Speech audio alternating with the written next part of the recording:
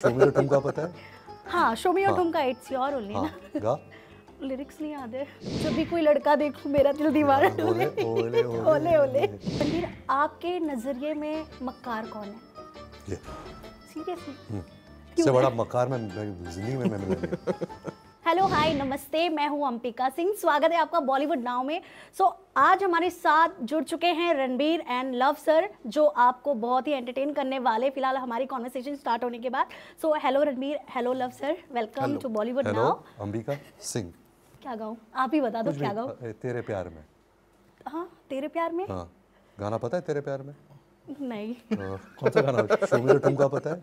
हाँ शोमी और ठुमका इट्स योर ओनली ना। गा। लिरिक्स नहीं याद है।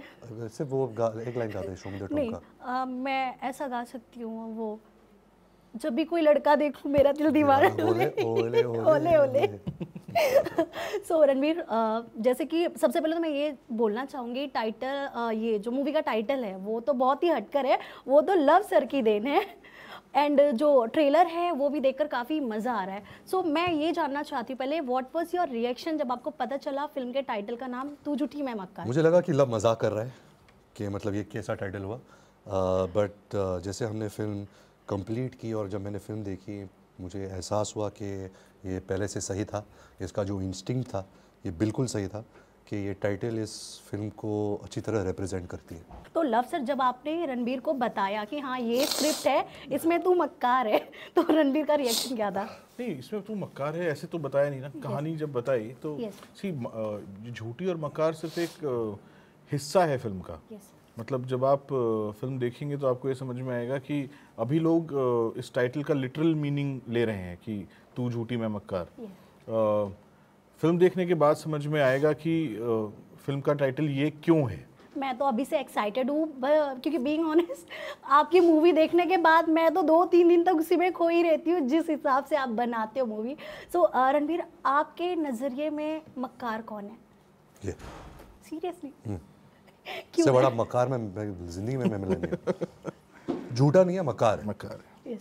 तो अ, जिस जगह पर आप बैठे हो अभी दो दिन पहले ही श्रद्धा यहाँ बैठी थी। श्रद्धा से मैंने एक क्वेश्चन किया था कि रणबीर की कोई एक खामियाँ बता दो। श्रद्धा ने आपकी मतलब एक मज़ा लेते हुए बोला था कि आपके साथ बीटीएस मूवमेंट हुआ था सेट पर एक। आप डायलॉग नहीं बोल पा रहे थे।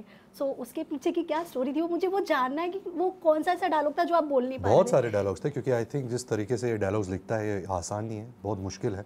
उसमें एक म्यूज़िकल क्वालिटी होती है नॉन स्टॉप बोलना पड़ता है एट द सेम टाइम आपको एक्सप्रेशन भी देना पड़ता है। uh, तो बहुत दिक्कत हुई श्रद्धा को भी बहुत दिक्कत हुई सिर्फ़ मुझे नहीं हुई। बट मज़ा था। ना जब हम रिज़ल्ट देखते हैं तो ऐसा लगता है कि जो मेहनत हमने की है उस यू नो वो रंग ला रही है। सो so, लव सर हर मूवी में आपके कार्तिक ही देखने को मिलते। सो so, इस बार रणबीर कहाँ से आए और मतलब कैसे? कहाँ से आया मैं? कहाँ से आए?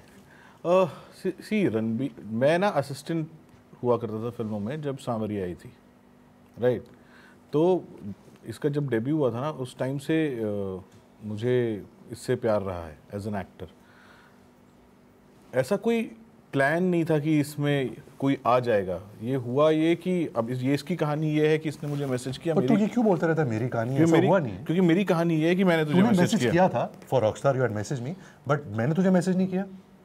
मैंने रॉकस्टार नहीं तमाशा पे मैसेज अच्छा तमाशा में मैसेज किया होगा हाँ। बट तुझे लगता नहीं मैंने मैसेज किया? नहीं। तुझे याद ही नहीं है। तो मिले कैसे फिर? वही तो क्योंकि मैंने मैसेज किया। बेसिकली हुआ ये था कि रणबीर ने एक इंटरव्यू किया था राजीव मसन जी के साथ ठीक है? तो पंचनामा टू के बाद की ही बात होगी। मैंने इसको कभी तो मैसेज किया था और हमारी बात हो नहीं पाई थी।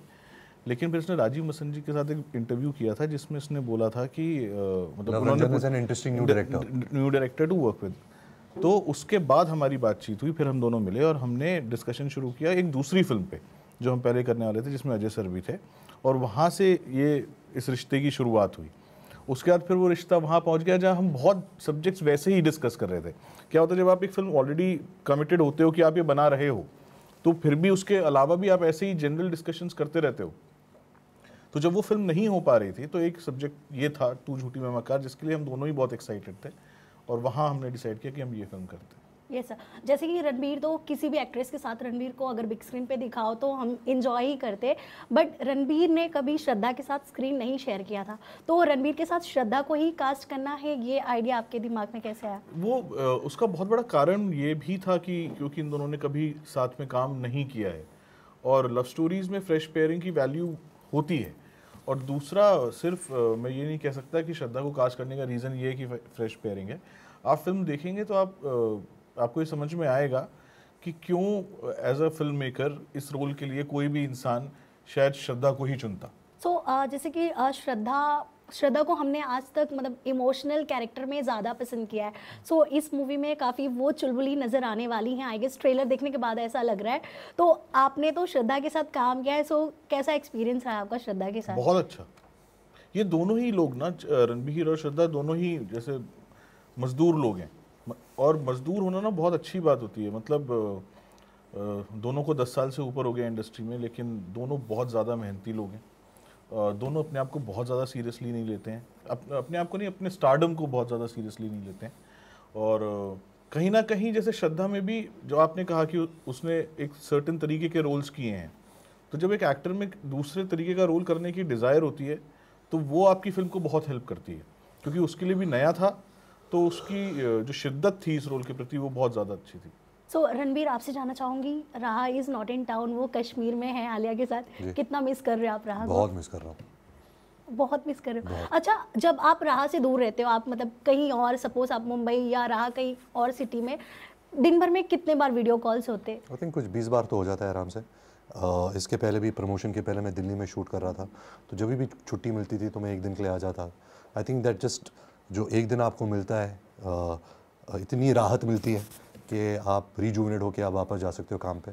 अभी छः दिन हो गए I seen and I am really missing father बनने के बाद आपने खुद में क्या चेंजेस देखे? अभी तो बहुत यू नो अभी चार महीने ही हुए हैं तो will be too soon for me too से क्या चेंजेस हैं। बट होपफुली गुड चेंजेस ही होंगे। सो आपको क्या लग रहा है मूवी को कितना प्यार मिलने वाला है? फैंस को क्या मैसेज देंगे आप लास्टली अगर मुझे ऐसा लगता तो मैं मतलब दुनिया का सबसे सक्सेसफुल एक्टर होता। अभी तक आपको क्या- ख्वाहिश है कि मैंने फ़िल्म तीन दिन पहले देखी। और आई थिंक जो फीलिंग लव और मैंने तीन साल पहले डिस्कस की वही फीलिंग है फ़िल्म में।